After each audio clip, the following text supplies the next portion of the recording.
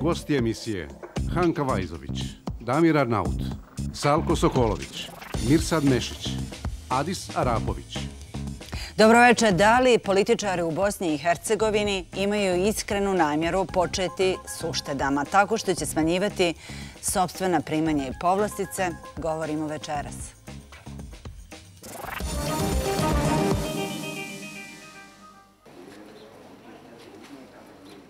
Ovo je red za bijeli hljeb u ulici Halači broj 6. I ovo je lista za bijeli hljeb na trgu Bosne i Hercegovine.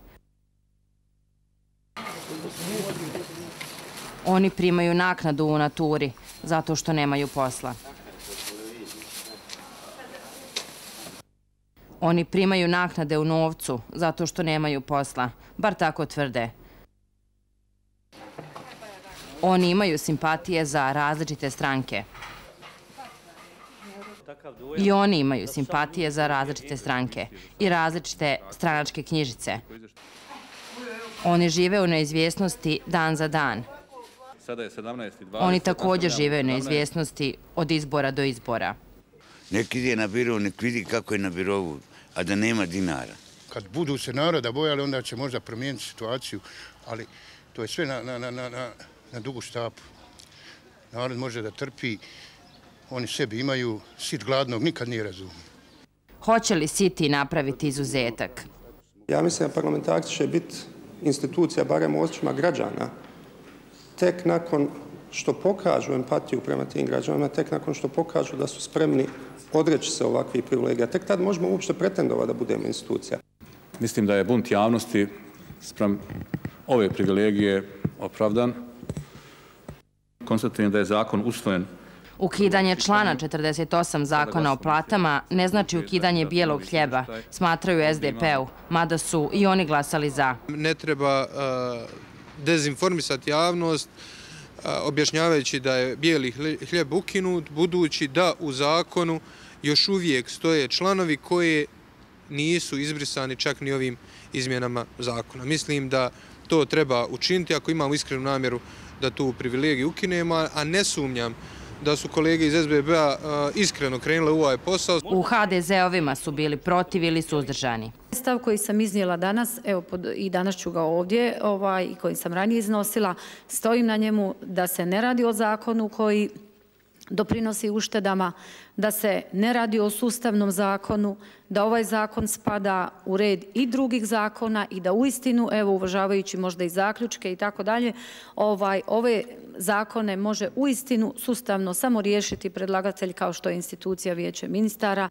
Politika plaća i naknada koja je kao dokument izrađen, ali nije bilo fair da ga ovo vijeće ministara usvaja. Mi smo mogli to uraditi, ali mislim da je to fair da se to ostavi kao što i proračun ostavlja se novom vijeću ministara da ne bi stvarili neke stvari koje će nas poslije samo odvući na vrijeme. Možda se moglo negdje na tom tragu naći rješenje da to bude u nekom kraćem vremenskom periodu, u nekim manjim iznosima, recimo prosječne plaće, recimo 50% od onog što sad se pripada, to su samo ovako razmišljanja na glas. Ili e, niste možda razmišljali o tome da ćemo mnogi mi ili ljudi koji to imaju pravo koristiti, dakle zadnji možda šest mjeseci ili godinu dana potrošiti na to da sebe smjeste negdje.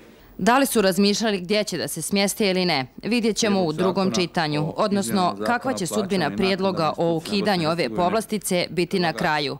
Do tada, a i posle, redovi za bijeli hljeb će biti dugi i u ulici Halači 6 na trgu Bosne i Hercegovine, ali na još 13 lokacija kantonalnih, entitetskih i drugih vlada. Glasajte sad. Música Na početku emisije dužan sam reći da se majka Mirsada Isakovića razboljela. E, još jedan gost je trebalo da dođe iz Zenice, pa izgleda tamo epidemija. Gospodin Mirsad Bešić iz SDP-a uoči, e, oprostite Mirsad Mešić, e, uoči početka emisije zastupnika SDP-a, inače u parlamentu Bosne i Hercegovine, kazao nam je da je i na infuziji umjesto e, gospodina Mirsada Isakovića sa nama je večeras, mada je bilo drugačije najavljeno gospodin Damir Arnaut. Gospodin Arnaut, hvala što ste došli večeras. Ovo je inicijativa Saveza za bolju budućnost za izmjenu ovog zakona, za ukidanje primanja e, 12 mjeseci nakon isteka mandata, bez obzira kako se taj mandat završi, ostavkom, e, razrješenjem razrešenjem s dužnosti, smjenom ili prosto istekom mandata i neizborom u sljedećem ciklusu. E, da li ste zadovoljni kako je prihvaćena ova izmjena zakona u prvom čitanju? Zaista jesmo. Pazite, znači, bila su samo dva glasa protiv i dva glasa suzdržana. Svi ostali koji su bili u sali su glasali za i ovaj zakon je usvojen u prvom čitanju. Prva stvar je rijetko kad neki prijedlog zakona dobije ovoliku podršku. Ovo je zaista jedna velika podrška i mi to vidimo i kao, prije svega kao pobjedu građana, jer ovo je bio zahtjev građana Bosne i Hercegovine, ali vidimo kao jedan uspjeh eh, i SBB-a i opozicije, ali po najviše možda uspjeh uh, na tragu ukidanja i smanjivanja svih ovih privilegija koje zaista jesu previsoke. Ovaj, tako da s te strane smo izuzetno zadovoljni. Gospodine Sokoloviću, mnogi su kazali za ovaj zakon da je populistički. Ili ga vi smatrate, odnosno izmjene i dopune zakona, populističkim? Gledajte, evo, koristim priliku da pozdravim vaše, vaše gledalce i nas ovdje se u studiju. Da li je populistički? Ovo pitanje trebamo riješiti pa da li populizmom, kako neko kaže, ili sistemski, kako je malo prije gospodin Magazinović rekao. Stranka demokratske akcije imala je namjeru poslije formiranja vijeća ministara, to imamo u svom programu, da pokrenemo ovo pitanje. Došlo je na ovakav način dobro što je došlo i mi smo dio tog procesa i mi također insistiramo želimo u ovom momentu da ovu privilegiju poslanika, ne samo u parlamentu države Bosne i Hercegovine, već i u federalnom i u kantonalnim parlamentima eliminišemo kao privilegiju. Niste mi odgovorili na pitanje je li populistički ili ne?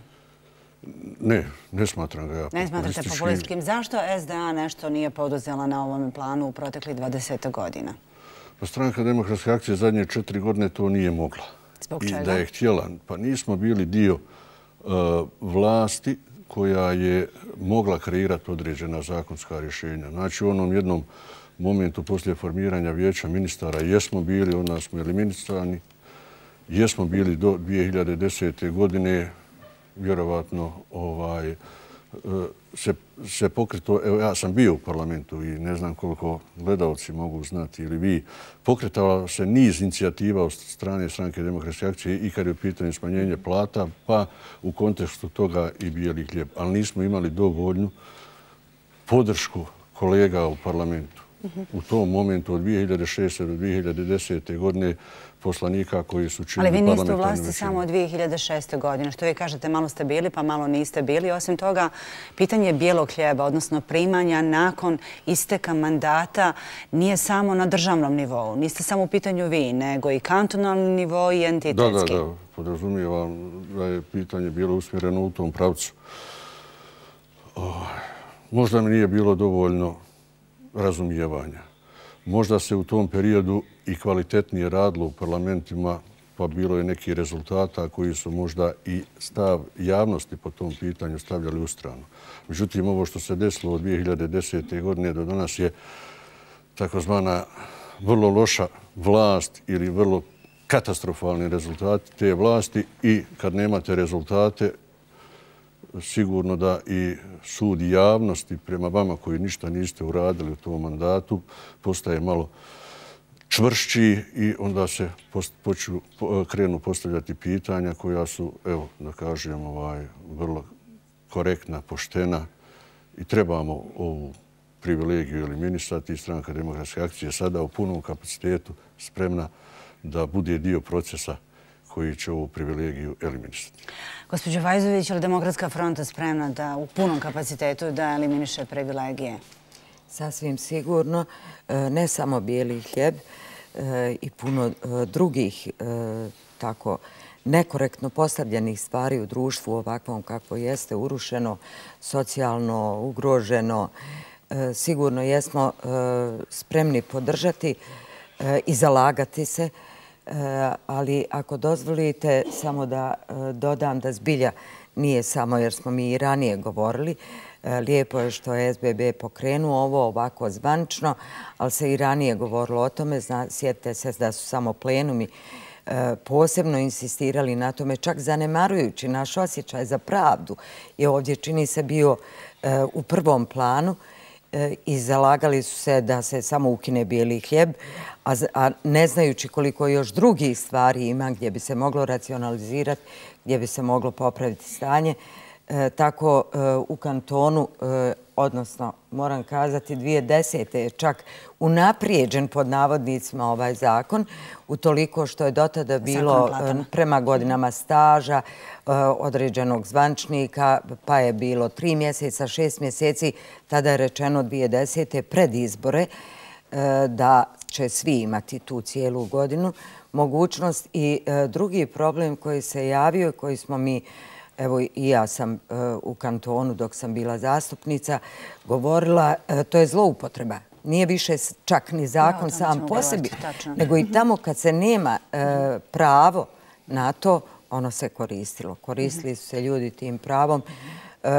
tom odredbom u zakonu, a da su recimo mogli se vratiti na posao jer je bila obaveza da donesu od svoje e, E, firme iz koje dolaze, da donesu papir kako će se moći vratiti nakon isteka mandata. E, to je bila zloupotreba i onda je već bilo kulminiralo. Moglo se je mijenjati sasvim sigurno, moglo se je mijenjati, utozi su mijenjali, mi u kantonu smo potpisivali, pa se to nije ispoštovalo, potpisivali su ljudi koji su mogli dakle, imati pravo. Moglo se ranije. E, gospodine Arapoviću, e, vi ste između ostalog i u Bijelom hljebu pravili tekstove i mogućim uštedama koje mogu da se napravi. O tome ćemo detaljnije govoriti večeras. E, kad je riječ o bijelom hljebu, vi smatrate da je to privilegija koju na prvom mjestu treba ukinuti, prije svega zbog poštivanja principa pravičnosti, ne samo zbog zahtjeva plenova. Međutim, koliko su ozbiljne uštede koje će se napraviti i da li vi smatrate ovakvu vrstu zahtjeva, ako se eksplicitno krene samo sa njima populističkim? Dobro večer, prije svega hvala na prilici da ovom je govorim. Nije populizam. Populizam bi bio da je ovo izborna godina i da neka politička stranka hoće u kratkom roku pridobiti glasače na nekoj, nekoj politici ili nekoj mjeri koja ne donosi krupne promjene bilo kom je. Dakle, novčano izraženo, ukoliko se bijeli hljeb ukine na nivou Bosne i Hercegovine, tu je ušteda maksimalno 200.000 maraka za jednu, za jednu budžetsku godinu. Dakle, to nije krupan izdatak, ali on je na simboličkoj ravni možda krupniji od niza drugih koji mnogo više košte. Dakle, bijeli hljeb je u stvari paradigma nepravednosti.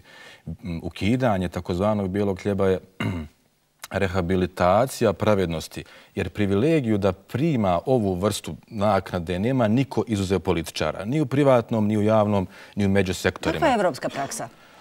Sporadično postoje politike davanja određenog broja mjeseci plate visokim političkim dužnosticima, najčešće je šefovima država i vlada.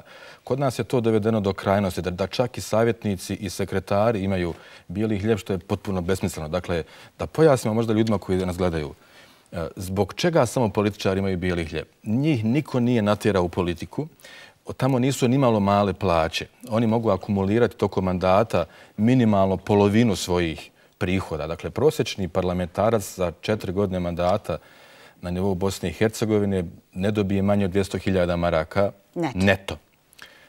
Za troškove života mu ne treba više od četvrtine tog iznosa.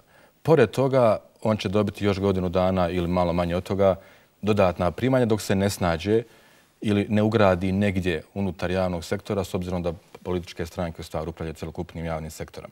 Dakle, pitanje nepravednosti je kulminiralo ovim izdacima za bijeli hljeb, uprko s tome što to, kažem, nije krupna ušteda, niko ne bi smio iznositi vrlo paušalne ocjene i suprotstavljati se ovome zbog tehničkih primjedbi. Dakle, čak i da, da prijedlog SBB-a nije kompletan, to nije prepreka da se on ne dopuni i kompletira pa da to kao takav bude usvojen u finalnom obliku.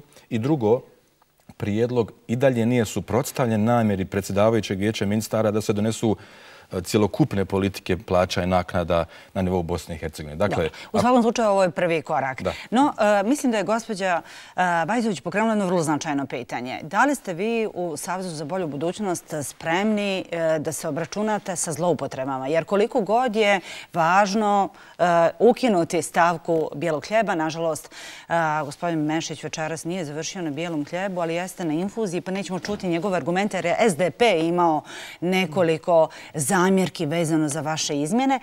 Ali evo, neka se ukine i neka prođe u drugom čitanju i prođe u Domu naroda, je li tako, gdje će ići nakon predstavničkog doma. E, da li ste spremni da se obračunate ukoliko je bilo zloupotreba? Odnosno, ako su ljudi koji su primili bijeli hljeb bili u mogućnosti da se zaposledno se vrate na svoje radno mjesto gdje su bili prije mandata u zastupničkom domu?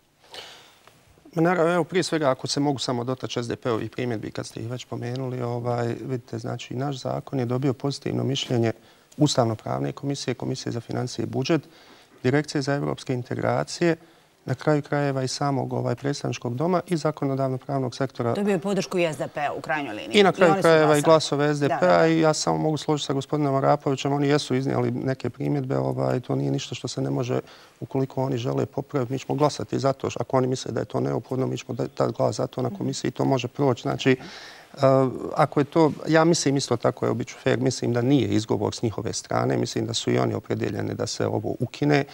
Ovaj, ali mislim isto tako da ne treba to problematizirati na način da sad ovo se ne može ovaj, ukinuti. Može se ukinuti, znači mi, spa, mi smo, imamo već to na dnevnom redu za drugo čitanje iduće sedmice i to može iduće Mislite sedmice. Mislite da će to proći? Ja se nadam da će proći, mislim da će proći, gledajući sve što smo vidjeli naravno. Ovaj, što se tiče zloupotreba, vidite, ako ih je bilo, postoje organi koji se bave tim stvarima. Ovaj, naravno da će eh, SBB sve to podržati ovaj, ukoliko ih je bilo, neka, neka se bave oni koji se time trebaju baviti. A to su? Ovaj, ako govorite o zakonskim zloupotrebama, znači ako je neko primao bijeli hljeba, nije imao zakonsko pravo na to, ja ne znam da li postoje konkretni slučajeve, ali zna se koje se agencije time bave. Je li to su agencije za provođenje zakona? Ja, ali to je uvijek dobar izgovor. Znate, ovaj... da pravosudni organi treba time da se pozabave. I kad je riječ o predsjedniku Savjeza za bolju budućnost, ne tako davno on istakao neke primjere, kad je riječ i o vašoj stranci, konkretno vezano za Zeničko-Dobojski kanton, gdje se treba pozabaviti ljudima, ali evo ja u ovoj emisiji obećavam, pošto nema stranke koja nije koristila bijeli hljeb, da ću bilo koga pojedinačno prozivati. Ali osim rada pravosudnih organa, potrebno je očigledno unutar same stranke nešto uraditi. Kada je u pitanju politička odgovornost, ja onda mogu zaista govoriti o SBB-u. I SBB je dan danas jedina stranka koja je zaista iz svog članstva, možda čak i na jedan grub način, ali na način koji je bio jasan da će se desiti svima prije ovih izbora, isključila iz članstva sve koje su uzeli bijeli hljeb. Ali zaista apsolutno sve. Svima je bilo rečeno bijeli hljeb je protiv politike SBB-a. Jeste sigurni da ste isključili sve? Sve koje su uzimali bijeli hljeb za koje imamo podatke, apsolutno sve. Ako mhm. imate neke podatke o nekome koga nismo isključali, znate da je uzao bijeli hljeb, recite nam, ja samo mogu konstatirati da će politika predsjedništva biti ista prema njima, da će biti isključeni iz Saveza. Dakle, mhm. to je, ovaj, to, to, to je činjenica. E, mogu se samo osvrnuti, ovaj, meni je drago Dostavit ću vam podatke. Hvala puno. Ovaj, a, Što se tiče, ja ne znam, jesu insinuacije jel, da, da su ovo bile tuđe ideje. Ovo je program SBB-a od osnivanja SBB-a. Znači, ukidanje, ukidanje bijelog hljeba. Ovaj, Možemo da nastavimo. Može, naravno. Ovaj, a, ovo je program SBB-a od, od početka, dakle, a, osnivanja Saveza. Znači, e, Savez za bolju budućnost je apsolutno opredeljen da se ova privilegija ukine od samog početka i ovo je samo jedan kontinuitet naše politike i u suštini logičan slijed politike. I kad su cifre u pitanju, jeste 200.000 je kad nisu izborne godine, ali kad imamo godinu nakon izbora, milion i dvijesto, evo imali ste podatak 2011. znači milion e, i dvijesto hiljada maraka je trošak samo na plate tim zvaničnicima, onda na to dodajte i naknade to izađe na oko 2 miliona, znači samo 2011. godine je potrošeno na ovo. Zaista ne znam ni koliko je bitno govoriti o ciframa. Ovo je naknada za nerad. I ni u kom slučaju, pogotovo u zemlji poput Bosne i Hercegovine, ne, nema mjesta. Ako mogu jednu suštinsku Da čujemo suštinsku. Jer ja vjerujem, ne znam ste vi provjerili podatke, ali imajući u vidu E, staž stažu vlasti stranke demokratske akcije, nekako je logično po svim nivoima da je bilo vaših korisnika bijelog hljeba najviše. Ali ja ne mogu to da tvrdim. Pretpostavlja, nemam ja precizne podatke. Ali ovdje, e, zbog čega SDP insistirao, ne želim da budem advokat SDP-a. Međutim, ima jedna stvar, a vjerujem da, da, da, da ćete se e, svi složiti sa mnom. U zakonu, sta, član 39a, ovaj, član u koji se može tamo negdje nekad primijeniti, a da javnost možda i ne zna. A to je administrativna komisija. Zato ga je vrlo bitno izbaciti. Administrativna komisija rješava sve što se tiče financija, što nije zakonom definisano. To kaže taj član. Što znači da administrativna komisija sutra nekome može da dodijeli bijeli hljeb? Može, ukoliko ne eliminišemo taj zakon. I ja ne sumnjam, evo, da li će kolege iz SBB-a tu priču nastaviti. Ja sam siguran da će buduće vijeće ministara na čelu sa gospodinom Zvizdićem rad u tom pravcu, jer mi to imamo kao program za naredni period. Ali čekajte... Samo hoću da kažem težinu tog člana koji preko koga možda i prelazimo svjesno, nesvjesno, ali on tačno daje mogućnost... Dobro ste rekli svjesno. Svjesno ili nesvjesno. Šta to znači? Ali to znači povratak e, cijele ove e, pravne priče na početak? Tako je. U administrativnu komisiju koja to može dalje da radi. Zato je bitno ne stati na ovom putu, već priču završiti do kraja. I zato je sistemski pristup ovome najvažniji. Ali prije sistemskog pristupa, evo sad ste dali ideju svima koji su u parlamentu, dakle ne dozvolite da, da zakon prođe bez intervencije u članu 39. A, a prošlo je to već u prvom čitanju? Ne, prošlo je prvo čitanje, dakle bit će drugo čitanje. Prošlo ima, ima tu. Ima prostora, ima faza u kojima se može intervenirati da to bude cjelovito rješenje, da se više nikad ne vratimo na, na startnu poziciju, a neka onda neka sistematska politika ovo pitanje uredi ne, ne, potpuno, potpuno Ja se slažem s tim što mi imamo tu jedan tehnički problem. Znači, ne možemo u drugom čitanju odmah intervenisati na ova dva člana zakona, jer poslovnički su članovi koji se nisu u ovom momentu dirali. Ali sljedeći kor. Pa evo ja uzimam na sebe tu obavezu, gospođa Habajzović, evo ovdje koji smo prisutni. Znači, mi smo ima, riješili dilemu. Znači, bijelo hljeba nema i sigurno će biti... Gospodine vam ideju. Vidite, da vam kažem. Ne, ovaj, može SBB nastaviti priču, a mi ćemo pratiti. Oni će da uklinu član 48, a vi ćete 39-a. 39 i 39. I odlično, to je perfektno za predstavničku demokratiju, da opozicijona stranka nešto predloži, da pozicijone stranke to dopune i da svi budu sretni. Najgore što se može desiti da se nađu uska grla i da se zbog njih ovo ne uradi. To se ne smije desiti. Čitava pojenta je, pazite, mislim, bijeli hljeb, bijeli hljeb će zaista, ja se nadam, ja vjerujem po svemu sudeći ovaj stvar prošlosti. Ono što je najbitnije možda ovaj, za nas... Barem kad je riječ o državnoj razini. Ali, pazite, imate prilog eh, zakona SBB-a u ukidanju bijelog hljeba na federalnom nivou. Mi smo taj zakon stavili u proceduru istog dana kad smo stavili ovaj u proceduru na državnom nivou. Naravno, znate i sami koliko često se sastoje federalni parlament, ovaj, nisu mogli izabrati ovaj, rukovodstvo Doma naroda i tako dalje i tako dalje. Imali su jako malo sjednica od kako su sazvani, tako da još to uvijek nije tamo došlo ovaj, u proceduru, ali prijedlog zakona je prijedlog zakona koji uputio SBB na federalnom nivou, a što se onda po kontinuitetu spušta na kantone, tako da i to je Ovaj, nemamo mi straha da će nam neku ukrasti ideju. Mislim, to je u suštini nebitno. Ja sam na početku istakao ovo je najveća pobjeda građana Bosne i Hercegovine. I ono što mi je možda i najdraže, pored bijelog hljeba, mi smo nametnuli priču o smanjivanjima privilegija. Vratite se dva mjeseca unazad. Fotelje, fotelje, fotelje. Ko će imati bošnjačke pozicije, ko će imati hrvatske, ko će imati srpske i ostalo i tako dalje. To je uvijek tako. Jedina druga priča je priča o smanjenju privilegija koju je nametnuo SBB ovim zakonima. Sada se gospodin Bevanda utrkuje kako će donijeti sistemske zakone. Pazite, moramo biti fair. Gospodin Bevanda je bio premijer zadnje tri i po godine. Tri godine. Pa gdje su bili ti sistemski zakone do tada? Mi smo zaista nametnuli ovu priču i bijeli hljeb je samo početak. Privilegije će sad početi padati kod ovdje. Evo, da čućemo kakvi su ostali predlozi. Gospođo Vajzović, naravno. Mogu u vezi s ovim kazati da nisam imala namjeru umanjiti činjenicu e, kako je SBB pokrenuo zvančno ovo u proceduru stavio. E, no, e, nije se ranije ni razmišljalo, valjda su bila i bolja vremena Možda je i to razlog, jel, sad je siromaštvo baš prešlo svaku mjeru. E, nije se ranije razmišljalo, evo ja ću vam reći, 2010. kad sam e, izabrana e, za zastupnicu u Skupštini kantona, srela sam, dakle, bila je smjena vlasti, srela sam prijatelja koga sam pitala, bio je u zakonodavnoj vlasti, gdje si sada, šta radiš? Kaže, na bijelom hjebu. Meni ga bilo žao. Ja misla ovako nekako frazeološki da je to nešto eto, pati se pa nešto. Nismo razmišljali, zaista. Mislim, ne bi vam ništa zazlo uzeo, ali mi smo razmišljali jer stranka je osnovana tad u tom periodu. Lijepo, programu, U osnivačkom aktu je ukidanje bijelog hljeba. Mi zaista jesmo razmišljali o tome od početka. Krasno. Ja vam kažem da je u Skupštini kantona upravo ovo o čemu je govorio kolega Sokolović, upravo se desila ta vrsta zloupotrebe. Komisija administrativna za administrativna pitanja i imenovanja e, e, napravila je E, napravljeno je onom kome je ostavljeno predsjedavajućoj da e, ona donese odluku tamo gdje postoji zakonska mogućnost i onda se desilo. Šta se desi e, nakon toga? Šta su istrage?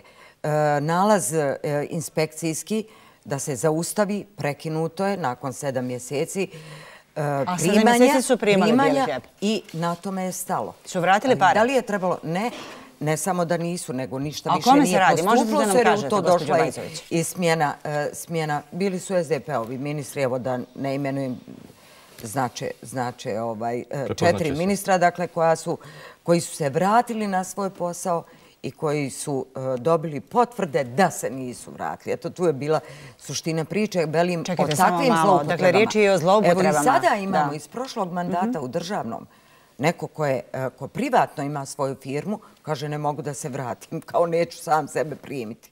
Da. Ovaj, e, I ovdje se zna. Ima prilog argumentu da je zakon besmislen.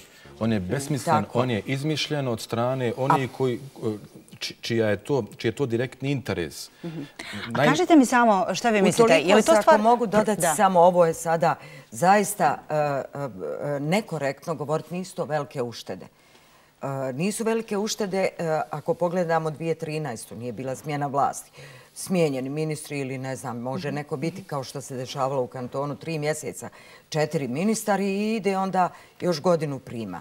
Svi mi e, imamo, zna se šta se e, vrednuje novcem, e, vrsta posla, odgovornost, obrazovanje i šta još. I pošteno je da ljudi prime za svoj posao naknadu, odgovarajuću ali ovdje zaista nema rada. Ne, pa ja sam rekao, za mene jesu velike uštede. Ja sam se vratio na 2011. Sposobni oni naći posao koji su bili u vlasti, mora biti da su vrijedli. I ovo još dodatak, kad su sila, jedna vojska, to je posebno bolna tačka savjetnika i ovaj, sve to da ne znamo ni da su bili savjetnici, a sad su na bijelom Da, u stvari dio problema u tome je što su samo parlamentarci, ministri istureni a oni su vrh ledenog brijega. Dakle, ispod njih ima nekoliko puta više ljudi koji su nevidljivi, a koji također koriste te privilegije. Također za nerad. E, dakle, oni u isto vrijeme mogu imati novu poziciju, novu funkciju i primati nakon. Što vi mislite, e, hoće li se na svim nivoima doći do rješavanja ovog problema i da li to stvar e, programskih opredeljenja stranaka ili nužde, zato što su građani na protestima kazali da se bijeli hljeb mora ukinuti? A prvo, taj termin bijeli hljeb ne postoji nigdje u zakon. To je eufemizam, to je lijepo kazano nečemu što je vrlo ružno, što je nemoralno, što je netično, što je nepotrebno i neopravdano. 12 mjeseci plata bez rada. Pa, I doprinos. I ne samo bez rada, mislim, vraćam se na početak priče, e, nisu ti ljudi silom postavljeni na poziciju bez koje su ostali u nekom trenutku. Oni su svojom voljom postali političari, istoga su izvukli mnogo privilegije i onda im još država, odnosno narod, plaća dodatnu penziju nakon što prestanu biti političari. To je besmisleno, neopravdano i to je ključni razlog zašto ovo mora na svim nivoima da se ukine. Dakle, ovo nije pitanje programskih opredeljenja, već upravo pritiska javnosti. Javnost u ovome vidi simbol nepravde, simbol nepravednosti govorit ćemo u nastavku o desetinama drugih krupnih prilika da se naprave ozbiljne uštede, da se na efikasan, racionalan i odgovoran način upravlja javnim novcem. Ali ovo je Ovo je paradigma. Ovo je paradigma. Kad kažete bijeli hljeb, vi ne zamislite veknu bijelog hljeba, nego veknu nepravde. Da, e, da. To je, to je point. Dobro. O platama i povlasticama poslanika u parlamentu, ministara te uposlenih u državnim institucijama slijedi još jedno podsjećanje. Prilog pripremio Sinan Šarić.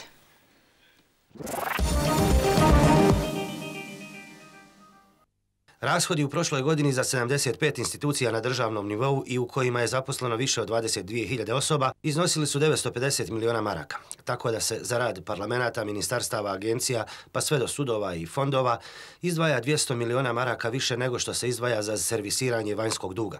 Poslanik u državnoj skupštini ima startnu platu od oko 3200 maraka ali u stvarnim primanjima često više od 6000 maraka. Najprije poslanici koriste pravo na paušal. Visina paušala se također određuje e, prosjekom e, plaće za e, prethodni period i taj paušal primaju svi poslanici.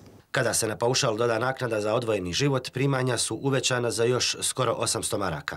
Naravno, to se odnosi samo na izabrane dužnostnike. Pravo na odvojeni život znači imaju ti poslanici i također imaju e, rukovodeći državni službenici čije je mjesto stanovanja e, također e, udaljeno od e, e, mjesta rada 80 i više kilometara. Zbrojili se neto plata od oko 3200 maraka, pravo na odvojeni život i naknada za stan od oko 800 maraka, te paušal od 700 tada primanja parlamentaraca iznose više od 4600 maraka.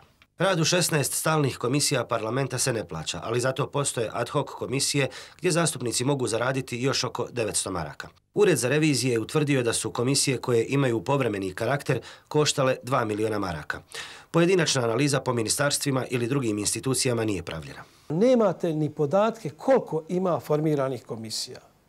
Mi smo pokušali putem i vijeća ministara i generalnog sekretarijata i na druge načine da utvrdimo i nismo e, nigdje mogli da nađemo da na jednom mjestu postoji evidencija i da postoje jasna pravila na koji način i kako se formiraju. Zapravo, e, ono što je najvažnije, a što smo mi utvrdili, da se formiraju i da se odrede naklade, a kad su u pitanju rezultati, ti da to o, na neki način nije povezano sa samim nakladama. Ali enormne zarade po raznim osnovama nisu karakteristične samo za parlamentarce.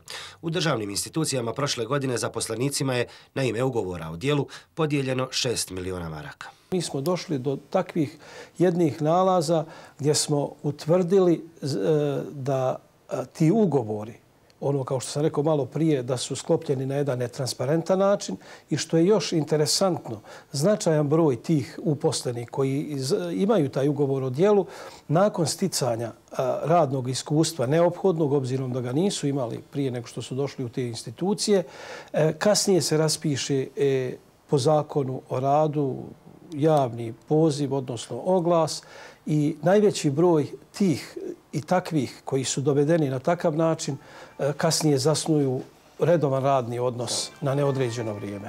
Telefonske i poštanske usluge u 2014. koštale su preko 13 miliona. Za putne troškove izdvojeno je više od 115, a za naknade troškova zaposlenih više od 520 miliona maraka. Neki od ovih slučajeva upućeni su pravosudnim organima na ispitivanje, ali najveći dio enormnih isplata zapravo je u skladu ili sa zakonom ili odlukama koje opet donose oni kojima se i isplaćuju. Gospodin Arapoviću, gdje se mogu ostvariti najveće uštede? Ako mi date dvije minute, brzo ću proći taksativno kroz najmanje deset ideja, pa nek se sad stranke otimaju za njih. Evo, daj mi besplatno. Ako vam dam dvije minute, brzo ću proći. Za dvije minute ćete proći. Zvolite, vaše dvije minute.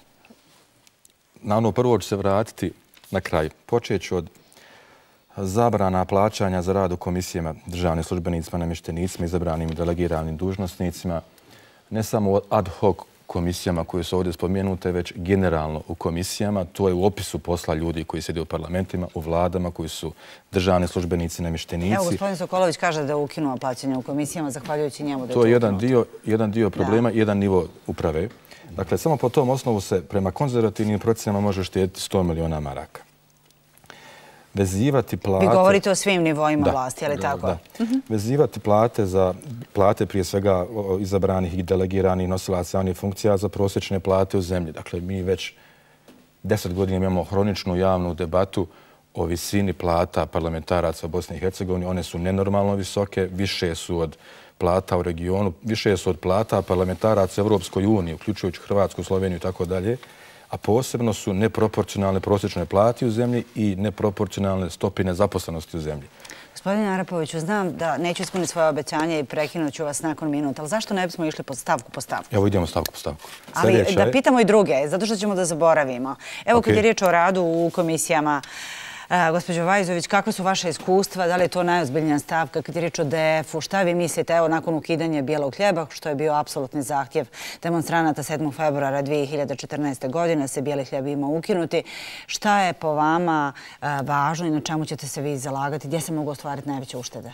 E, moje iskustvo e, iz prošlog mandata je da se komisije zaista nisu plaćale osim predsjednicima komisija. A onda, znate, imate još jednu dodatnu štetu. Onda kaže, ti svakako nisi na e, profesionalizirala svoj status, neka bude taj jer će primati dodatak. I onda je sve jedno. Ja znam da je u prošlom mandatu, recimo, komisije za jezik, bilo je, onako možda zvuči, bila su oba kandidata, oba predsjednika dvije komisije u zastupničkom i u Dom naroda e, srpske nacionalnosti u federaciji koja se bave pitanjem jezika, a ujedno nisu lingvisti, dakle nisu, nego se tako stranka rasporedi, E, i tu je plaćanje. Možemo samo da objasnimo. Dakle, ovo su redovne komisije, one su parlamentarna tijela mhm. i to je u opisu posla parlamentarca. Ovdje više govorimo o e, državnim službenicima koji... Samo da razjasnimo dvije vrste komisija. Ovo što vi spominjete, to su redovne parlamentarna tijela. Ali na svakoj sednici parlamenta se imenuje najmanje jedna ad hoc komisija koja je plaćena. Ako je sednica parlamenta mhm obimnijeg dnevnog reda, imenuje se više parlamentarnih komisija, nekad su to međuparlamentarni, među dva doma, sa vanjskim saradnicima i to izuzetno mnogo košta. Sad, pomnožite to sa brojem nivoa, sa brojem parlamenta i dobit ćete stotine ljudi koji su u ovom trenutku u nekoj komisiji koja se plaća. Bilo je zastupnika i u, i u Skupštini kantona Sarajevo, bilo je zastupnika koji su bili u nekim komisijama, ne znam, ovaj, eh, boračkim ili ne znam kakvim, e, i također su bili plaćeni veći dio toga odlazi na državne službenike koji imaju radno vrijeme i oni su uključeni. I u sklopu radnog vremena su dio komisije koja je posebno plaćena. Da je tu krupna stavka. Da, i oprostite na prekidanju, ali ovo je vrlo bitno da se kaže. Dakle, e, da, polovinu članstva u tim ad hoc komisijama stvari čine državni službenici koji na platu dobijaju honorare za članstvo u komisijama i analize koje je radio revizor, dakle ne neko sa strane, ne neko kome se ne može vjerovati, već državna revizija utvrdila u stvari da ima nebrojeni broj državnih službenika koji imaju više prihoda poslovnog rada u komisijama nego poslovnog plana. Jeste li vi u Komisiji za financije došli do sličnih saznanja? Do sličnih saznanja. I šta ste uradili?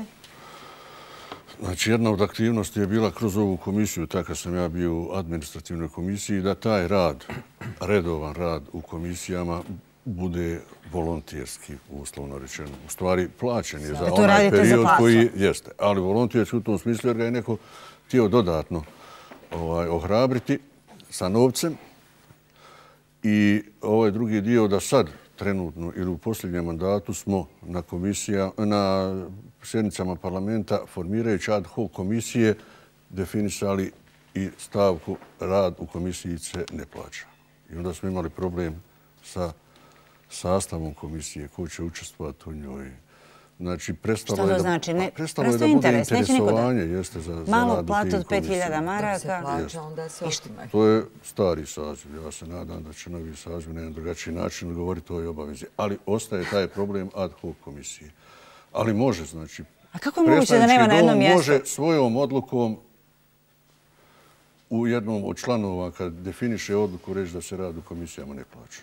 To ostaje naša obaveza da budemo korektni u tome, da neko prati da li mi to radimo. A, to znači da sada ponovo predsjednički dom mora da kaže rad u komisijama se ne plaća? Ne, to, Kroz svaku... to, je, to je završeno? To se ne, ne, rad u komisijama redovnim, to stoji, to, to se ne može ali ovaj, predsjednički dom može da odlučuje ali kroz ad hoc komisiju, ako ne definiše da se rad ne plaća, može da se zloupotrijebi. Gospodin Arnaut, je li ovo i dalje prostor za zloupotrebe? Pa ste, mislim, za upotrebe sve. A za upotrebe? Znači, javnog novca na način kako onaj ko donosi odluku to želi. Ma to je u stvari najgore od svega. Znači, ljudi koji, ljudi sami sebi to daju. Da. Mislim, to izaziva jedan strahovit revolt. Vjerujte mi, izaziva revolt kod parlamentaraca ovaj, koji žele da ovo ukinu. A kamo li kod građana? Vratimo se i na bijeli hljeb. Samo sekundu. Ovaj, a, Znači, neko izađe na izbore i kaže ja trebam biti član parlamenta zato što ja ispunjavam sve ove uslove. Dajte meni svoj glas. I uđe u parlament kao zaslužan, jel? A onda nakon četiri godine kaže da ne može da nađe posao. I to još ima taj parlament na svom CV-u. Mislim, pa to je zaista nevjerovatno. Mislim, ovaj da, pa šta se radi u parlamentu onda uopšte? Takva osoba onda nije zaslužila da ušte bude u parlamentu ako nakon četiri godine sa tim još na svom CV-u, a da ne govorim onima koji su tamo 8 i 12 godina, ne mogu da nađu posao. To je nevjerovatno. Ovaj, ali vidite, komisije, telefoni, auta, sve to treba ukinuti. Ja ne znam iskreno šta će gospodin Rapović pročitati. Ja mogu ime SBB-a reći da mi sve podržavamo što je na njegovoj listi. Znamo otprilike u kom pravcu CCI... Nismo napravili. Ovaj, Ste vi ide, napravili listu? Pa i mi smo se svoju ovaj, i, i, sigurno se slaže sa svim ovim. Ovaj, Znači, kad su plati... Da li kod vas postoji bojazan da će se cijela priča uštedama završiti na ovom bijelom hljebu? Ma ne postoji bojazan, zaista zato što mislim činjenica da mi o ovome pričamo. Čitava država o ovome priča i ne pričamo više samo o bijelom priča, hljebu. Ništa se drugo ne radi. Pa, Evo, nešto je krenulo sa bijelim hljebom. Pa znam, ali ne možete sam, bar, bar nama ne možete reći da, da mi samo pričamo. Ne, ja vas Evo, mi Smo, mi smo, znači, ispred SBB-a uložili taj prijedlog zakona prošao je sa jednom ogromnom većinom u državnom parlamentu. Ja se nadam da će isto biti u federalnom parlamentu. Predložili smo isti prijedlog zakona. Vidite ovo, dva i pol mjeseca traje već ovaj saziv državnog parlamenta. Jedini zakon u novom sazivu državnog parlamenta je ovaj SBB-ov zakon. Imamo još nekoliko zakona iz starog saziva koje smo naslijedili, ali ni jedan drugi zakon za dva i pol mjeseca nije predložen osim ovog zakona u kidanju bijelog hljeba. I to ga je predložilo četiri poslanika iz opozicije. Pa šta radi 38 poslanika? Evo da čujemo. Gospodin Vajzović, šta vi radite? Kad je reč o uštedama? Zanimljivije mi je ovo nastaviti, ovu priču. E, šta radimo? Pa tek smo, nema, imao dva i pol mjeseca. Pa ima. Ima. Dobro, bit će zakona, bit će prijedloga. E, hoću e, samo e, da kažem da ovo upotpunim, jel, zašto se to ne promijeni? E, šta na ovo reći? Male su to možda e, u odnosu na tendere, na ne znam kakva druga, e, druge mogućnosti da se otuđe javna, ja, javna dobra sredstva. i zaslužni umjetnici. Pokušavali smo koliko puta u kantonu Sarajevo. Sad zamislite, lepezu e, kod nas pola miliona otprilike, govorimo koliko je nezaposlenih. Zamislite koliko u tome ima kategorija različitih, šta znači biti zaposlen. Kad bismo to izanalizirali, E, I sad imate tamo ljude iz Dite ili ne znam odakle koji uopće nemaju doprinose, nemaju plaću, nemaju. Imate nekoga, da li on zaposlen ili nije? Da li ima primanje ili ne? Što vam pokušavate reći, molim vas, kad je reč o uštedama i konkretnim predlozima? Govorim o tome, o toj nepravdi koja ide uz ovu priču o bijelom hljebu. E, nepravdi da neko koga neka komisija opet, a i komisija vjerovatno opet plaćena, proglasi tako zaslužnim umjetnikom, njemu se plaćaju doprinosi. A on nije zaposlen. A imate ove koji govorimo e,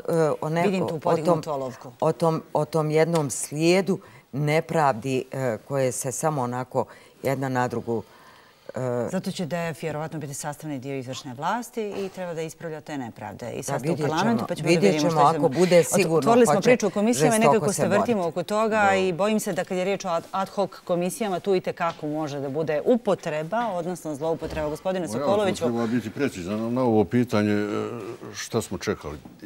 Ja sam pristalica sistema. Znači, očito je da je stranka demokratske akcije parlamentarna većina ima presjedavajućeg na neki način se od predsjedavajuća očekivati određeni potezi, pa i u ovome pravcu. Kao parlamentarac iz pozicije ovaj, imam ovaj, potrebu da sačekam formiranje vijeća ministara, jer znam da smo planirali da je to suštinska stvar koju ćemo raditi. Mislim da treba reći po formiranju vijeća ministara, je li to 100 dana, da se ovaj par ovih zakona, ne, evo kažemo, neće donijeti neku značajnu uštedu, ali hoće pokazati šta mi želimo u naredne četiri godine. Pojedinačno neće, ali kumulativno. Ali će pokazati, evo da čujemo šta kumulativno evo, može. Da, se kaže da u narednih sto dana po formiranju vijeća ministara o, o, o, ova zakonska rješenja treba donijeti. Pa mi smo u prošlom mandatu... Zakonska rješenja o uštedama. O uštedama. Mi smo u prošlom mandatu pokrenuli priču oko zakona o platama. Zašto ne nastaviti? Pa ja sam zagovornik i bili smo zagovornik. Nije bilo, nije bilo u ekspozeu mandatara. Ja se nadam da ovo sad nominirate kao dodatak tom ekspozeu. Hmm. Mi ćemo podržati. Nisam sve, sve te detalje upratio, ali sigurno je. A mi smo u prošlom mandatu pokrenuli tu priču oko izmene zakona. Stalo je to u Domu naroda. Treba definisati najveću platu, smanjiti plate i poslanicima. Tad smo išli sa smanjenjem koeficijenta ovaj, ukinut ovaj paušal. Evo da ne govorim ovo o čemu će vjerovatno govoriti gospodin Arapović. Gospodin Arapović, ovo dosta... Tek sam na drugoj. Da, Ma da, zato neću 12. da idem dalje. Znači, oko 10 ću završiti privatno. Pa nemojte baš toliko. Ekspoze je trajao 90 minuta, a gospodin Arnaut tvrdi da nije bilo ništa oko ušteda. Pa evo, zato ćemo sada izgovoriti, ja kažem, besplatno dajem sada političkim strankama sve ove ideje i nije ih teško provesti u praksu u vrlo kratkom roku, bukvalno za 100 dana. Evo jedan od sljedećih prijedloga se tiče upravo ovih e, ugovora o dijelu. Ograničiti udio ugovora o dijelu u rashodima svakog budžetskog korisnika na određeni procenat ili realni iznos koji vezi sa planiranjem učinka i revizijom učinka konkretnog budžetskog korisnika. Primjera radi, državna revizija pokazala da je tokom 2012. godine federalna vlada isplatila preko 20 miliona maraka po osnovu ugovora o dijelu. Pretpostavka je da se na ugovor o dijelu kumulativno daje više od 100 miliona maraka godišnje. Dakle, ovo je već vrlo ozbiljna ušteda. Da vas podsjetim, jedna MMF-ova tranša koju Bosna i Hercegovina godišnje povlači reda veličina od prilike 300 miliona maraka. Dakle, samo na ovoj stavci ćemo dobiti tih trećinu MMF-ove tranše dobar dio ovih ugovora je potpisan sa onima koji već imaju platu u organima javne uprave. To smo sve čuli u prilogu. Dakle, sada ovo trebamo pretočiti u ideju, u inicijativu i vrlo brzo, nadam se, u zakon. Gospodin Arnaut nam pokazuje interesovanje. Ja sam već rekao, mi ćemo, evo, apsolutno se slažem sa svim što je gospodin Rapović rekao i što će reći. Mogu li vam da reći nešto oko čega se možda nećemo složiti? Da to ne čekam za kraj. Evo ja čekam. I to bilo bi dobro. Ukidanje finansiranja političkih stranaka iz budžeta. Možemo se oko toga složiti večeras. Evo, mi možemo. Jel se sjećate debate između predsjednika Radončića i gospodina Lagumđije pred prošle izbore? Dakle, zašto uh, delegiramo ovo Mislim, jel predsjednik Radončić, mislim, gospodin Radončić to rekao da je to stav SBB-a? Ako, ukoliko dio javnosti... Stranaka iz budžeta, da. Mhm. Ukoliko dio javnosti ne zna, dakle, političke stranke građane Bosne i Hercegovine godišnje koštaju približno 30 miliona maraka prema konzervativnim procjenama kojima se može ući u trag. Dakle, tamo gdje je finansijski dokazivo koliko je strankama dato. Šta je svrha finansiranja političkih stranaka iz budžeta? Pa prvobitna namjera i ovdje i drugdje gdje se stranke finansiraju iz budžeta jeste da se na taj način stranke demotiviraju da na drugim mjestima traži izvore finansiranja, odnosno da se direktno spriječi korupcija. Međutim, u Bosni i Hercegovini je rezultat ove politike potpuno suprotan sva ispitivanja javnog mnijenja, empirijska istraživanja pokazuju da su političke stranke upravo najveći generatori korupcije, pa više nema razloga da u stvari hranimo tu korupciju izdašnim budžetskim infuzijama koje košta evo 30 miliona maraka godišnje. Dakle, stranke će jednako nastaviti koristiti svoje koruptivne metode finansiranja, one koje su to do sada radile, ali će zato budžet biti izdašniji za 30 miliona maraka. Gospodine Sokoloviću, da li u stranici demokratske akcije postoji dobra volja da se ukine finansiranje političkih stranaka, uključujući i SDA iz budžeta? Gledajte, o tom je se nije razgovarao, ali... Nikada? Ja nije. Barem u mom prisustvu. Mislim da ideja kao ideja nije loša, samo treba vidjeti njene dobre i loše strane. U smislu Koje su loše? Druge, pa, loše strane ako je ovo nešto što je transparentno i što je vidljiv način finansiranja, li na takav način svim političkim subjektima otvoriti priču o nekoj nekim, o nekom drugom načinu finansiranja koje neće biti transparentno. Eto, to. E sad, da napravimo mehanizme, kako ćemo? Upravo sada imamo tu situaciju. Dakle, vi znate da je zbir A, zbir troškova koje stranke imaju, recimo, predzbornim kampanjama, puno viši od u odnosu na ono koliko te godine dobiju iz budžeta. Dakle, vrlo jednostavno pitanje odakle je razlika novca.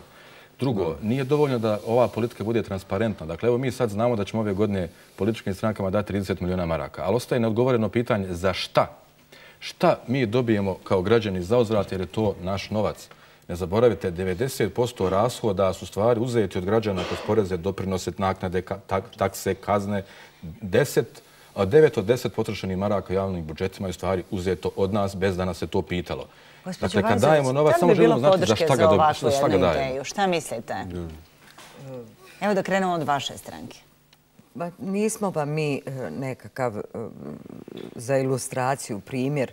E, mi smo tek osnovani, nismo se koristili tim sredstvima, E, siromašni smo, e, ne znam šta bi se e, reklo, jel, kako bi, kako bi, kakve bi bile reakcije. a vjerujem da bi sve što je društveno korisno, sve što će biti dobro,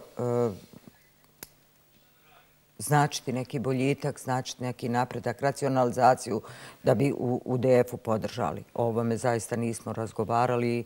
Ne mogu u ime DF-a govoriti da li bi ili ne bi, vjerovatno da. Gospodine Sokoloviću, evo čuli ste, nije riječ o transparentnosti, tvrdi gospodin Arapović. Našli bi se načini. U ostalom, kad je riječ o predizbornim kampanjama, treba puno više novaca od onoga što se ponude iz budžeta.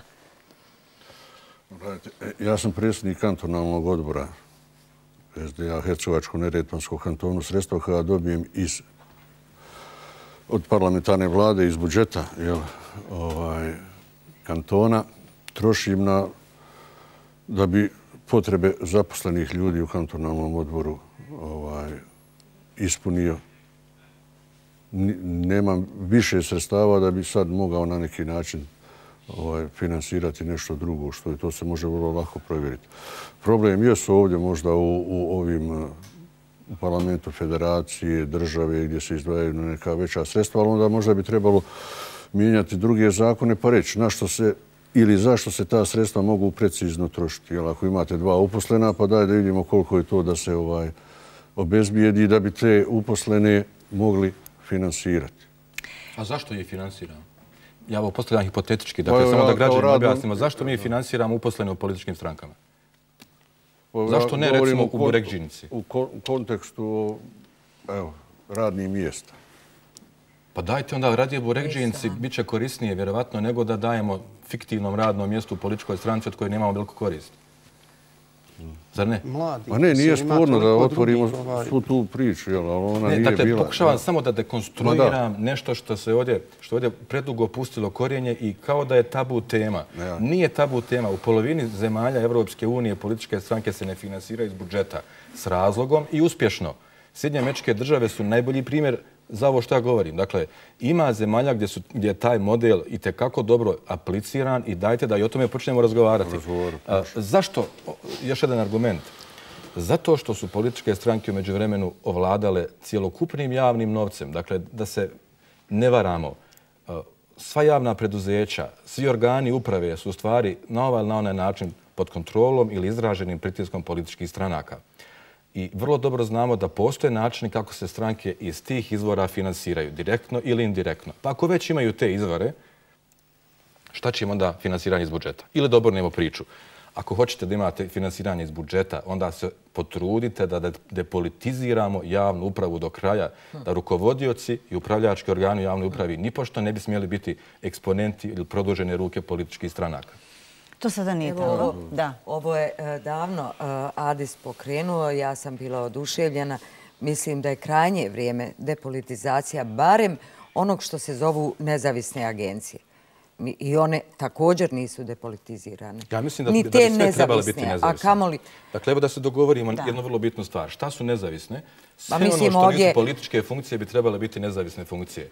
Političke tako, funkcije su parlamentarci, tako, političari, savjetnici i sekretari. I, i ovaj, agencija za borbu pa, protiv... Nemojte mi reći da bi SIPA trebala biti zavisna funkcija. Ili, uh, Ove se čak zovu nezavisne. Tako im je u nazivu. Dakle, druge koje se ne zovu također moraju biti nezavisne. Prvo zato što to zakon propisuje i drugo zato što je to javni interes. Dakle, I, ovladavanje... I pretpostavka da će e, se ispoštovati i kompetencije i meritornost pri izbori ljudi. Ovako, od tog nema ništa. Tako je. Dakle, javni konkurs, nekoga je spomenuo noćas već par puta, Javni konkurs je farsa. Instrument ili institut javnog konkursa prilikom zapošljavanja u javnoj upravi, pa posebno prilikom imenovanja rukovodilaca i upravljačke organa je puka farsa. Najbolji ljudi se više ne prijavljuju na te konkurse, znaju da neće biti izabrani, a čak i kad se prijave vrlo dobri kandidati, čak i kad komisija koja je također korumpirana ili na neki način pod pritiskom političke oligarhije, čak i kad mu da dovoljan broj bodova, onaj ko donosi konačnu odluku ne mora izabrati najboljeg. Lista uspješnih uzima posljednjeg. Dakle, Šta to ima veze sa uštedama? Zakonski potpuno pa, Ja mislim da je ovo stvari korijen problema sa uh, ukupnim odnosom prema javnom dobru. Dakle, vi kad ne uspostavite E, režim ili paradigmu meritokratije, ne možete očekivati odgovorno poslovanje, ne možete očekivati od rukovodioca da se odgovorno odnosi prema javnom novcu, jer on nije ni postavljen na taj način, na način vladavine prava, jednake šanse odgovornosti ili zakonitosti, već odgovara onome koga je postavio. Koga je postavio? Pa politička stranka. On će se na sve načine pokušati dokazati političkoj stranci i na način da je finansira legalno ili ilegalno javnim novcem. Onda u jednom dijelu moramo završiti proces privatizacije koji nije završen. Slažem se i to se i traži Evropske unije. Kao kontrolni mehanizam dolazi upravljačka struktura tipa Skupštine javnih predzeća. Upravnih odbora, nadzornih odbora. Znate koliko bude upravni nadzor. Ovo je ugodan razgovor, samo da potražimo rješenja. Šta su rješenja? Mislim da je vaš e, mandatar za, odnosno kandidat za premijera federacije rekao da neće biti privatizacije BH Telekoma i elektroprivrede ovaj, eto, toga ne, neće biti privatizano u iduće četiri godine, znači imamo već obećanje SDA. A hoće li biti politički imenovani ljudi na tim funkcijama? Ja volio da ne budu, ali mislim da svi znamo odgovor da hoće. A... Gospodin Sokolović prebače na loptice ponovno. A isto kao i, i da imamo drugačiju situaciju, isto bi se desilo. Znači, tim sistema neko mora upravljati. Pa nije SBB tako nevin da nije bio dio vlasti. Mislim, zna, znamo kako i na koji način je funkcionisao. Koji upravni odbor, koja agencija, pa nijedna. Sjeđa, čak predsjednik Komšić je imao jednom nastup gdje je rekao Radončića jedino u tome nema. Nema ga u tim talovima. Apsolutno nikad pa ne bi stavili stranačku... sa ovim prijevremenim upravnim odborom federalne televizije, ali evo, to je izuzetak koji možemo potvrđuje pravila. Bili ministri tri mjeseca, pa onda uzeli bijeli hljeb i tako dalje. Mislim, sve što se to dešavalo i kod vas i u svim politikama, niko nije od toga oslobođen. Treba vidjeti kako dalje i ovo što govori gospodin Araković. Ali evo, ovo su polovni ipak prvi potez. I zbilje tačno je da je prijedlog došao stvarno od opozicione stranke kad je riječ o bijelom hljebu. Gospođa Vajzović je rekla dajte da formiramo vlast. Imamo i mi svojih prijedloga. Šta su dalje prijedloze? Šta učiniti? Evo, da postavimo pitanje paušala. Mnogi smatraju da je to jedan od osnovnih problema. Dakle, postoje li načini da se pokrene inicijative? Da li bi ona naišla na podršku da se ukinu paušali? Evo, čujemo 700 maraka. Stranka demokratske akcije to je već pokretala u mandatu od 2060. Nismo imali političke sagovornike. SBIH, u kome je gospodina Nau tad bio, nije podržao tu ideju. SNSD. Znači, nismo mogli, ali dali smo rješenje. Sad imamo presjedavajućeg i sad tu priču treba da završimo. Ali to je izmjena zakona o platama i naknadama u institucijama. Tamo ima jedan član koji se zove član 30 i u njemu je jedan, mhm. jedan paket ti takozvani, nije takozvani, paket naknada koji treba eliminisati. Zakon koji je SDA zagovarao. Kad je usvojen. Evo da čujemo. Ja mislim da paušal treba ostati. Samo uz jednu bitnu izmjenu. Mhm. E, da on e, bude e, zakonski propisa sa onima koji nisu u profesionaliziranom odnosu. Izvinite, i taj koji nije ne prima tu plaću i on također ima i troškove i ulaže trud, rad. Nema takvih više. Imaju profesionalizirani i oni koji uzimaju razliku plaće. Negdje ne govorimo samo o državnom ovaj, nivou. Pa dobro, govorimo o državnom nivou, uzmaju razliku plate. Samo da ilustrujemo za gledalce. Tako i Poslanik ima platu. I onda svaki mjesec kad se održava sjednica dobije paušal. E sad vidite, znači, zašto je onda plata? Zato što je poslanik po funkciji, a dobije paušal da dođe na posao. Mislim, totalno nelogično. I apsolutno treba ukinuti zajedno sa svima. Taj posao već plaćen. Već plaćen kroz tu plaću. I kroz dnevnicu, i kroz odvojeni život, i kroz druge privilegije. Ali ako ima takvi, dakle, ako nema, nema. Ali kao e, mogućnost zakonska bi dobro bilo da ostane, samo što ne pripada onome koje je na A ovo o čemu je govorila gospođa Bajzović, znači sad imamo praksu razlike u plati. Znači ljudi zadrže svoje radno mjesto, a onda razliku umanjene plate, odnosno na veću platu u parlamentu, pokriju. I oni ne trebaju dobiti paušala. Ali ko bude čisto zadržao svoju platu bez razlike, može se govoriti o paušalu i to su varijante o kojima se može razgovarati. Govorili smo, zar nisu potrebna zapravo sistemska rješenja? Mi sada nabacujemo i vi dajete ideje.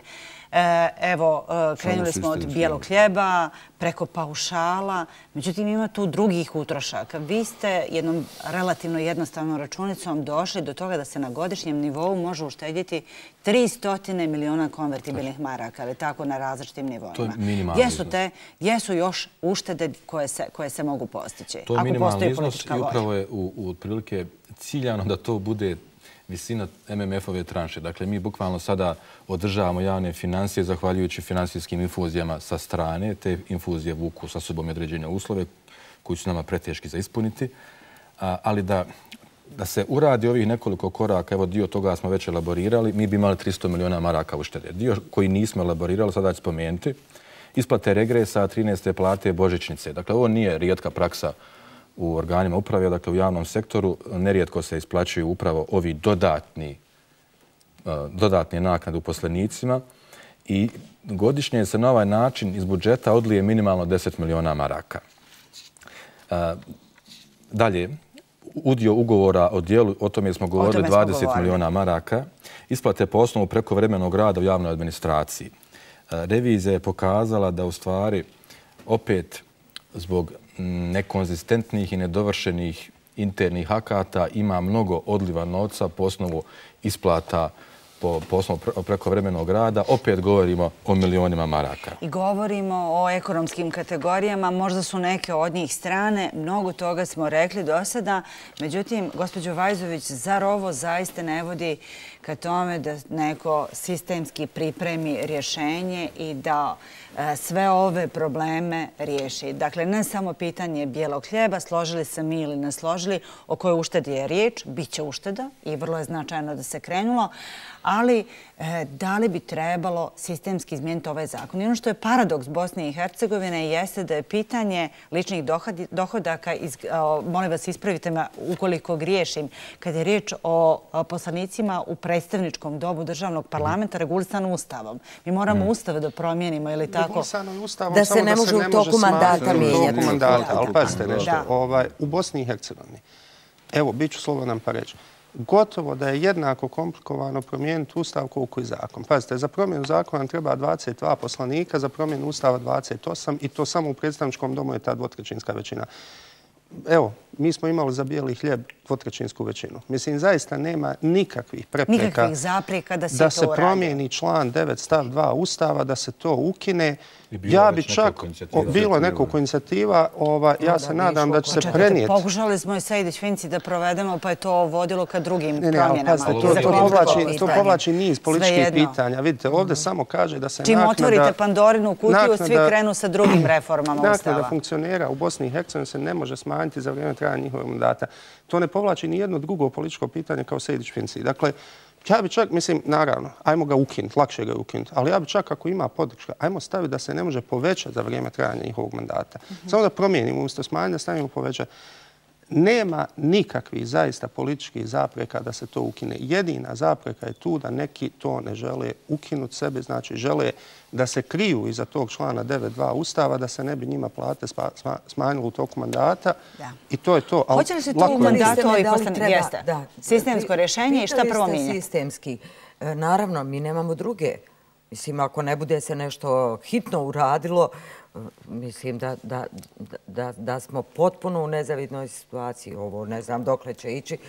E, u svakom slučaju, e, i ovdje još nismo govorili, jedno je strašna jedna stavka, ne znam je Ladis imao namjeru govoriti, to, su, to je vozni park. Ja sam dakle, I pritome, ne braneći uh, političare, one koji su u zakonodavnoj izvršnoj vlasti, znate koliko je državnih službenika koji imaju privilegije da 24 sata ima autor na raspolaganju, da ne znam šta zapošljava i sve ostalo. Mislite da ćete moći to promijeniti? U smislu boljitka, ja bih recimo tri nekakve kompetencije, dakle, da se postavljaju ljudi koji znaju namaknuti pare. Mi to sad nemamo. Evo kako se bira. Da e, e, imamo ljude koji će e, poraditi na racionalizaciji utroška ono što mi zovemo ovaj, onako eufemistično otuđivanje, da zaustavimo da zaustavimo praktično kriminal pljačku. To je nekoliko stvari koje, bi, koje ako ne napravimo, onda smo zaista u, u problemu. Gospodine Sokoloviću, imamo namjeru i mi i, i e, svi naše, sve naše programske e, stavke zacrtano e, imamo namjeru intenzivno raditi na tome. Vidjet ćemo kako će ići Uštede, spomenuli smo jako puno stvari, evo od voznog parka preko ušteda na paušalima. Telefona, bog, zna čega. Bijeli hljeb, postoji velika šansa da se ukine po vama, evo i kao član i kao potpredsjednik finansijske komisije, ali tako, komisije za financije. Taj rad se ne plaća, kao što i sami kažete, ali evo ovo je drugi mandat u kojem primate sasvim solidnu platu. Šta vi mislite, ako ne jako dobro, da me ne čuju sada gledalci, ovaj, kad sam rekla solidno, to je, to je, to je suviše malo. Ali e, šta naredno se može uraditi? Šta će konkretno vaša stranka predložiti? Kad je riječ o uštedama. Gleda, e, e, nije korektno da ne kažemo da je prijetno vlast nešto uradila digli smo ruku na kraju krajeva za to. Znači, regres poslanika u parlamentu, odnosno zaposleni državnih službenika koji ostvaruju platu, sad da ne govorim o koeficijentima, preko 2000 maraka je jedna marka. Ispod 2000 je 300 konvertivnih maraka. Regres. A čekajte, malo... Regres. A što sam ja rekao? Plaćamo regres. Hajde i to objasnimo. Regres. Šta je regres? Naknada za godišnji odmor, ja? Jeste. To dođe naknada. Ja se slažem potpuno, znači. Mislim, ja nemam regres, tako da stvarno... Ja vas zato pitam, da. Ja vas zamolio da me podržite. Ali hoćete vi mene podržati u jednoj stvari. Šta je to regres? Hoćete vi mene podržati u jednoj stvari. Ako ste upratili, ako ste upratili zakon o platama i naknadama u institucijama sudskim i tužilačkim države Bosne i Hercegovine. Ustavni sud je, oni su sami sebi, jel, Ustavnog suda, E, obezbijedili tri naknade, toplog obroka, smještaje i tako dalje. Ono, ono što im visoki predstavnik tije 2005. godine je dao u redu. Presuda Ustavnog suda nismo mogli da reagujemo. Ali sam ja reagovao amandmanom na regres. I pomalo imam neke pritiske. Ajte ovako da se dogovorimo. Pritiske na sebe. I prošlo je taj zakon. Da prvo političke funkcije svojim primjerom pokažu uštede gdje gotovo mogu i da onda kažu sudijama, tužiocima, kad možemo mi, budite i vi na jednak način odgovorni, pa vratite i vi istete uštedu. Za mene je regres uvijek bila pravimo neko novo društvo, držimo socijalne kategorije. Slažem. Da to pitam šta je regres, malo se malo karikirajući, ali stvarno je neprimjereno vremenu i uh, Pričamo o kapitalizmu, a držimo socijalne potrebe. Ne onima koji su potrebi. Parcijalno pričamo o rješenjima, uh, postoje svi predoslovi. Molim vas. Pitanje, uh, hoćete ponovo o regresu? Neću regresu. Dobro, nego o čemu? Nije, nije u kom slučaju. Pred kraj smo emisije. Regresu. Znači, evo kao poslanik vi kažete malo prije solidna plata. Pa, Ispravila sam se zbog gledalaca. Da se malo i pohvalim. Imao sam priliku da koristim i odvojeni život i sve one privilegije koje idu, to nikad nisam koristio. Sugerisao svim kolegama poslanicima da se na takav način ponašaju. Zna se tamo da je to mjesečna ušteda državi od 1200 maraka a u parlamentu sam već duži vremenski period. Ali nije bitno. Ja volio da se svi tako ponašaju i evo ja sam primjer, barem u tom dijelu, da se možemo tako ponašati. Ali ono, ja pretpostavljam da ste vi i, i to stavili kao prostor gdje mogli uštediti. Evo ja sam danas malo čitao reviziju učinka kad su mm. pitanje sudskih troškova. U periodu od 2008. do 2014. godine imamo 14,5 miliona plaćenih ovaj, e, presuda. presuda koje su sigurno barem mogle biti prepolovljene da su institucije unutar države radile onako kako se trebalo. Da otlane ono što je ured za reviziju primijetio kao kao loše, da su platile na vrijeme i tako dalje. Znači, evo jedan odgovoran rad možemo i u tom dijelu da napravimo pa, određenu uštedu. Kad bi, kad bi parlamentarci malo detaljnije i odgovornije čitali revizorske izvještaje, ova emisija ne bi ni trebala. Dakle, revizori gotovo svake godine daju paket preporuka i većina tih preporuka ostane samo mrtvo slovo na papiru. I sad se dotakli nešto što je možda početak ove priče, namjerno sam ostavio to za kraj, a to je generalno pitanje metodologije utroška javnog novca. Dakle, ovdje se novac ne troši po, po učinku. Kad se planira budžetska godina, ovdje, ovdje logika ne ide slijedom koraka. E, koje ciljeve želim da postignem, koje rezultate želim da ostvarim, e, kakve mi resursi za to trebaju i koliko to na kraju košta. Već ide potpuno pogrešnom logikom koliko ljudi imam na platnom spisku, kakav mi je budžet bio prošle godine, plus minus 5% i to mi je budžet za ovu godinu. Efekat nula ili još gore minus i nikom ništa. Dakle, Hoće li biti bolje? Da, kad prijeđemo sa ovog linearnog na programsko budžetiranje, tad ćemo mi govoriti o sistemskom rješenju. Do tada imamo paket kratkoročnih mjera. Sve što smo sada izgovorili, to su kratkoročne mjere. Srednjoročne mjere uzmaju u obzir i javne nabavke koje su teške milijardu maraka i enormnu potrošnju van budžetskih fondova koji su teški 3 milijarde otprilike. Dakle, to su već ozbiljne politike i to se može u nekom srednjoročnom periodu riješiti.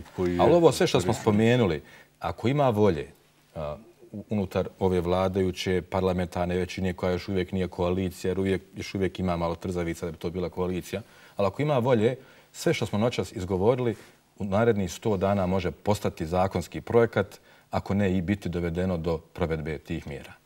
Hvala lijepo što ste večeras. Sve jedno drugo vuče, ono što sam malo prije. A šta ste se svi raspričali u 70. Ovaj, minuti emisije? Kako namaknuti novac, ovaj, iz Saveza za bolju budućnost. Ne samo trezorski zapisima, MMF-om i ostalim, e, nego e, promiču nam IPA fondovi. Digitalizacija, e, koliko bi od dividendi do sad da smo je proveli. Dakle, tamo gdje uštopamo, uštopamo i od toga nema ništa. Pa onda, Profesorice, imate naredne četiri godine. racionalizirati? Ima, zato sam ja rekla, kod me pitate šta radim sad, tek smo uh, počeli polako. Ne tri treba po, tri i po, nema četiri. Ja mislim da nije polako. I da, treba polako. Ne, ne. Neki projekti traju tri mjeseca i vrlo su uspješni. Svaki Pa projekti, recimo konkretno koje CCI provodi, mogu trajati tri mjeseca i dati vrlo, vrlo ozbiljne rezultate. na novim izborima, ovim lokalnim, pa onda ne, CCI koji... Ne, pokušavam pričati iz uloge menadžera projekata. Dakle, ne možete se tri mjeseca namiješati u stolici. Ne možete tim tri mjeseca čekati da se formira vlast. Za tri mjeseca se može napisati zakon i početi provoditi da ima pamet da se to radi. O uspješnosti nevladinog sektora i finansiranju nekom drugom prilikom. Hvala vam što ste večeras bili moji gosti. O ovoj temi ćemo razgovarati i mnoge ćemo koji su davali brojna obećanja u ovom periodu od 12. oktobra do danas i koji su bili gosti ove emisije i mnogo toga obećali sasvim sigurno u budućnosti citirati. Vidimo se narednog ponedjeljka u isto vrijeme. Doviđenja.